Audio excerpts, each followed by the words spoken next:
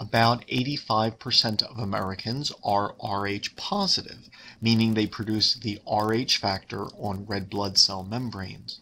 And about 15% of the population is Rh negative and they do not produce the Rh factor. Those who are Rh negative possess lymphocytes capable of recognizing the Rh factor and producing antibodies against it.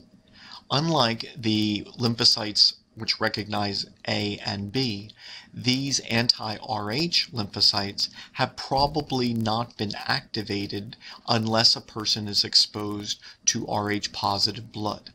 Thus, it takes one sensitizing dose before the lymphocytes are capable of producing the anti-Rh antibody in a full-blown humoral response, which is covered in greater depth with the immune system. Unlike the IgM pentamers, which are produced in response to A or B glycoproteins, it is a different antibody known as IgG, typically produced in response to the Rh factor, which is secreted singly.